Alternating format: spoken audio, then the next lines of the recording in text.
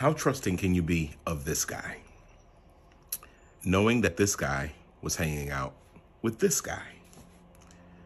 Now, knowing that these two had some form of a relationship, you trust this guy with your kid's medical safety when he was hanging out with this guy that was doing some disparaging and despicable, horrible things to young people.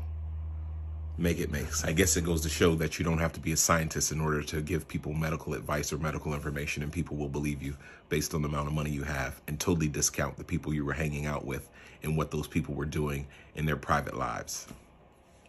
This is America. Stay with the Voracious Podcast. Drop your comments down below. Why would you trust this guy knowing he was hanging out with that guy?